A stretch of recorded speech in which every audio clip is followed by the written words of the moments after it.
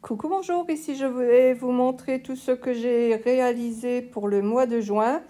Euh, alors tous les coloriages euh, sont réalisés dans le livre d'Anna Carlson, le Summer Nights. Certains coloriages sont faits de mes propres envies, d'autres je suis la Colo Team Summer Nights 2023 mise en place par Colorisera et Virgin Colo.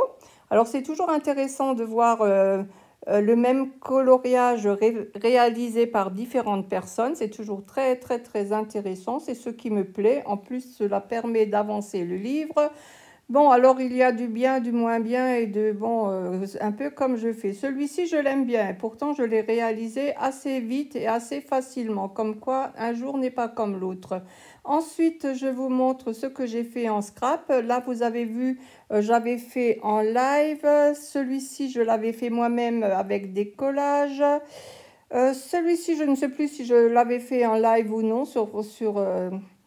sur Facebook. Et là, j'ai fait, alors je n'ai pas mis toute la vidéo parce que j'ai vraiment fait de la gel presse un peu pure, pure détente. Et là, la, la gel presse, ça sert, sert quand même à sortir la rage, à sortir tout, un peu tout, parce qu'on ne réfléchit pas, on pose, enfin, on réfléchit pas. On peut réfléchir et faire quelque chose de plus soigné que moi, mais toujours est-il que sur ces fonds, on arrive toujours à en faire quelque chose, même les reprendre avec des tamponnages ou, ou repasser à la gel presse une fois suivante.